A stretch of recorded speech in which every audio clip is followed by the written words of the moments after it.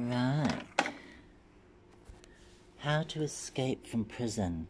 The remarkable story of how one man uh, defied the odds. Raw, honest, and inspiring. Sir John Kirwan. Dr. Paul Wood. At 18, Paul Wood thought he had lost everything. He had committed an act he knew would send him to prison for many years. To a young man like Paul, it might as well have been for the rest of his life. Plunged into a nightmarish world of extreme violence, solitary confinement, gang allegiances, drugs, vindictive wardens, and regular stabbings, Paul spent the next 11 years confined in some of New Zealand's toughest jails. Based on an account of his experiences he wrote while still inside, how to Escape from Prison chronicles Paul's road to redemption and a new life as a doctor of psychology, helping others strive to fulfill their potential and develop the resilience to flourish, even in adversity. This is a gripping read about a man who sank to the depths of despair before scaling the heights of true freedom. HarperCollins publishes HarperCollins Co. NZ. Paul Wood is a doctor of psychology, motivational speaker, leadership and personal development specialist, media personality, husband, and father. At 18, he was in prison and his life was completely off the rails. In his work today, Paul uses his subsequent journey from delinquent to doctor to illustrate the process of transformational change and how we can strive to be the best possible versions of ourselves. Paul contributes regularly to the media and works with a number of charities that focus on helping young men avoid prison or reintegrate effectively on release. He lives in Wellington, New Zealand. www.paulwood.com. How to Escape from Prison, Dr. Paul Wood, HarperCollins Publishers. First published in 2019 by HarperCollins Publishers, Copyright Paul Wood 2019. This book is dedicated to the memory of my mother, Mary Jean Wood, née Thomas. I just wish you'd lived to meet my wife, Mary Ann, and your grandchildren, Brax and Gordy. They would have loved you so much. Prologue. And the prologue is reasonably long. The walls were pink and were crowding in on me. There was nothing in the space except a bench with a blanket and a stainless steel toilet. The door had a small hole through which every now and then an eye would peer at me. Then the eye would disappear and I'd be alone again. I was numbed by the drugs I had taken earlier that fateful day, but not so numbed that I couldn't remember the events in detail, and not so numbed that I couldn't feel the first panicky stirrings of withdrawal. Every addict is prone to the gnawing imperative of their cravings. For me, as for most addicts, drugs were an escape from reality. I had never needed the means to escape reality more than I needed them now. But part of that inexorable reality was the knowledge that there would be no escape, physical or mental.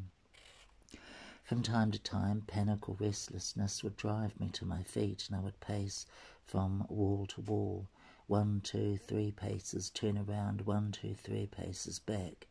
Experiencing no relief, I would curl up on the bench again. I lay there, balled up, feeling trapped, buffeted by waves of sick realization.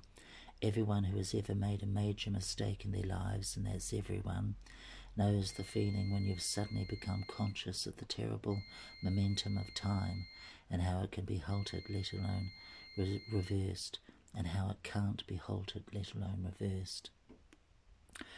Everyone who has ever made a major mistake in their lives, and that's everyone, knows the feeling when you suddenly become conscious of the terrible momentum of time and how it can't be halted, let alone reversed. Sometime after midnight, there was a clatter of keys in the lock. Someone here to see you, the cop said. I was handcuffed and led to an interview room. Sitting there on one side of the cheap formica table, his eyes downcast and his shoulders hunched, was my father. He looked up as I entered, handcuffed and wearing the white paper overalls they give you when they take your clothes for forensic analysis. I slumped into the chair opposite him, and the cop took up a position next to the door. What happened? Dad asked. I didn't know how to answer. I wanted to tell him that whatever he had heard, it wasn't true, or I wanted to tell him that it hadn't happened the way the police had lightly told him it had. I wanted to say it wasn't my fault. I wanted to say sorry, to apologize for heaping another blow on top of the blow he had just suffered. I wanted to promise to make amends for the hurt and misery I could see in his eyes. I don't think I said anything.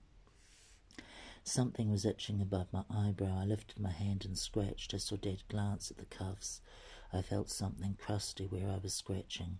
I looked at my fingernail and recognized dried blood beneath it. I saw other flecks of blood on my arms and smears of blood on my wrists where I tried to wash them. I felt sick.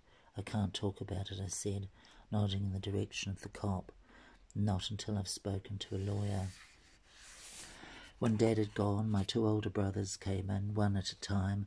I didn't have much to say to them either, especially since it had occurred to me that they were only being let in to see me because the police thought I might open up to them. They wished me good luck. My older brother John gave me some prison advice. Keep your head down and don't stand out. Be a grey man, somebody, someone nobody notices. Back in the cell, I realized that's what I had become, a grey man. All that promise and potential had been snuffed out, and I was just a husk.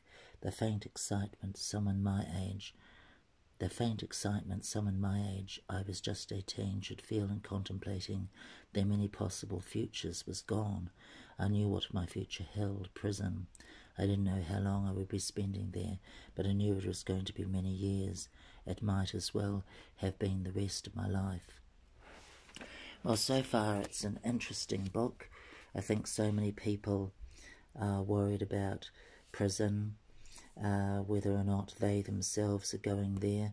A lot of people have uh, family members who are in prison and may have some kind of love for them, some affection, emotional bond. Um, my God. I need to eat something. I've only just woken up and got out of bed and got dressed. How long has it been? Seven minutes. Oh my God. Time flies when you're doing retarded videos.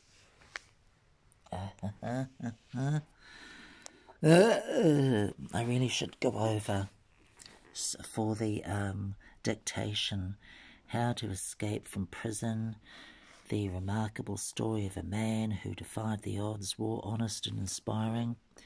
John Kirwan is mentioned. So this is what we read. Blah, blah, blah. La, la, la, la, la. Uh, it took us seven minutes to read all of this and it's got me hooked because like well I've, I've bothered to take an interest in the whole thing and um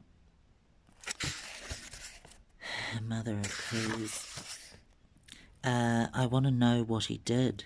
I mean, all it's done, like if you turn it into an imaginative movie in your mind, or even if you do make it into a movie, and I guess that's possible, um, I want to know what he did because all it's painted so far is um, this young man who's been sitting in prison.